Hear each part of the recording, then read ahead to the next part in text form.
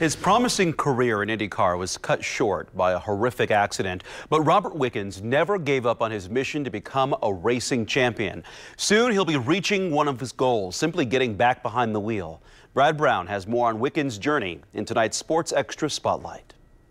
More than a thousand days have passed since that near fateful moment in Robert Wickens' career, but it feels somewhat like a lifetime ago for the 32-year-old driver being out of the car, out of out of a race seat for three years now, it's been it's been really challenging. And I'm still involved in motorsports, um, working with an IndyCar team and, and, being a consultant and a driver coach there, and still trying to stay stay in the loop of, of motorsport, but actually driving nothing compares to it.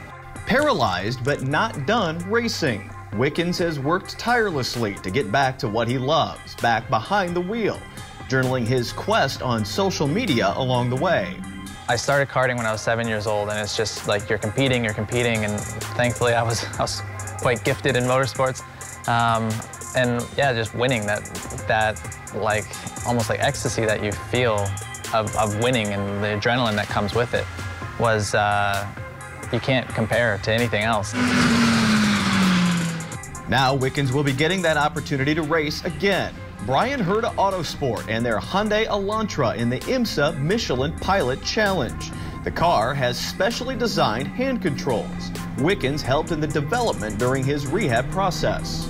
The system that we're developing now um, for the 2022 season is going to be a lot more as I remember driving, where your hands are properly on the wheel and, and more, more sit stuff are on the backside of the steering wheel, which will leave a lot more space to talk to the team on the radio, adjust your switches, anything else, because you'll actually have more, more opportunity to do that stuff.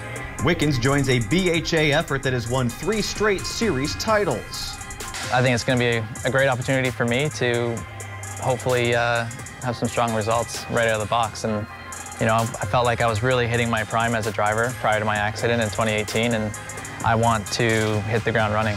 And he's hoping for more of the success he found during a far too short career in IndyCar.